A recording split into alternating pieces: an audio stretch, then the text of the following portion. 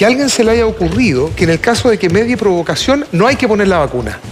O sea, ¿en qué puede haber estado pensando el... No, no, esta- estas cosas ¿Tiene son- alguna lógica? Sí, claro que sí. ¿Por qué? Tiene una lógica. La lógica es la siguiente. Los perros que están cursando la enfermedad son perros que les cambia el comportamiento. Acuérdate que tienen una encefalitis, inflamación del cerebro. Y eso hace que se cambie el comportamiento, haya agresividad inusual, haya movimientos extraños, desconocimiento de los dueños, los perros se ponen atáxicos, paralíticos, babean, etcétera, etcétera. Entonces, un perro normal que te muerda a ti, que no tenga ni un síntoma, lo más probable es que no tenga rabia. A menos que lo hayan provocado. digamos, Tampoco. claro. Ah, si tú ah, tienes un perro normal que pasa por afuera una motosierra o cortáis un árbol y viene un maestro a cortarte el árbol Se va a y el perro se vuelve loco y te muerde, lo más probable es que ese perro tampoco tenga rabia. Mm, Porque no es nunca los- desde el momento que llegó la persona a cortar el árbol hacia atrás, nunca había tenido un cambio ni de conducta, ni de babeo, ni de ataxia, etcétera, etcétera. Entonces, por eso que lo hicieron así. Ahora, igual está cambiando eso para que se entienda. Eh, Entiendo que la instrucción Lógico, del la- Ministerio cambió de. Salud ya cambió a- raíz de este caso. Lógico. Se elimina... Está reaccionándose Ah, sobre la marcha. po. Exactamente. ¿Y por qué no se puso la segunda vacuna? Que tenía entendido Porque que eso decía, eso decía el protocolo.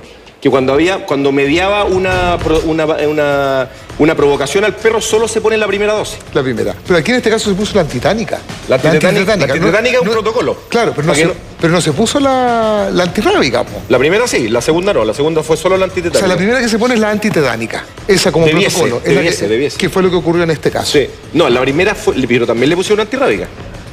El momento del ataque, digamos, el mismo día. Ya. Y en el caso de las jaurías, ¿cómo se transmite la rabia? Perdón, pregunta, ¿es posible que los perros se contagien entre Por sí? cierto que sí, po. ese es el riesgo que hay hoy día. Porque todavía no se identifica el perro con rabia. O sea, ese perro podría haber contagiado a otros perros. Por supuesto, o podría estar muerto por ahí. O podría haber contagiado a una vaca, a un cordero, a, un, eh, a, a cualquier animal que haya mordido, o a otra persona.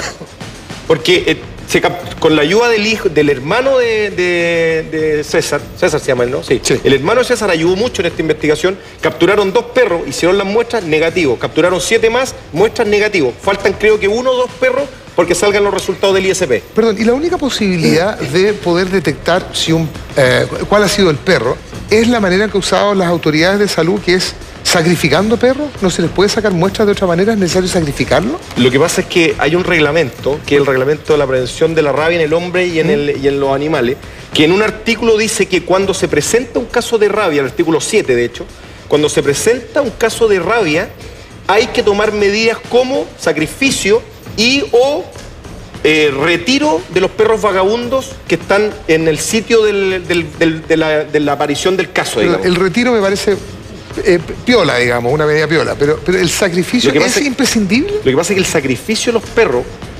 significa, es la única forma que tenemos para poder muestrear esos perros. Los perros que se, que se llevaron al ISP, lo más probable, ¿ah? no me consta, pero lo más probable es que lo hayan sacrificado porque tienen que tomarle muestras de cerebro Ah, ok. ok. para ver si es que son portadores del virus rábico o no. ¿Cachai? Sí. Entonces, por eso, que se, por eso que el decreto o el reglamento en este caso permite el retiro y sacrificio. ¿Qué significa para Chile, Sebastián? Bueno, no sé si estarás en condiciones, pero